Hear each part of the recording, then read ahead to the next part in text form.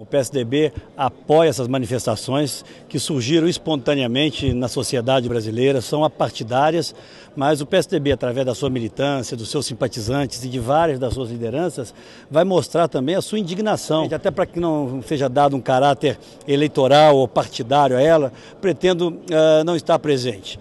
Mas uh, orientei os companheiros do partido que estejam, até porque essa é a vontade da maioria uh, dos partidos. É natural que as pessoas possam se manifestar é? e nós entendemos, se houver reivindicações desses movimentos, sem dúvida o governo vai recebê-las e analisá-las. Agora, como eu disse, o importante é que elas não sejam marcadas pelo ódio.